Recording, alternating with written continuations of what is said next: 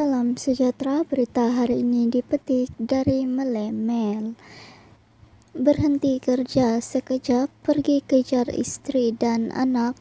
Samsul terbang ke Tanah Suci, sekali netizen perasan komen ini.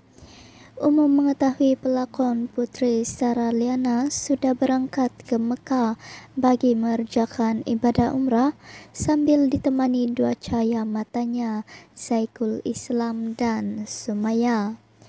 Malah Sarah atau nama lengkapnya Putri Sarah Liana Megat Kamarudin sempat berkongsi beberapa keping foto dia bersama keluarga dan beberapa rakan di lapangan terbang sebelum berlepas.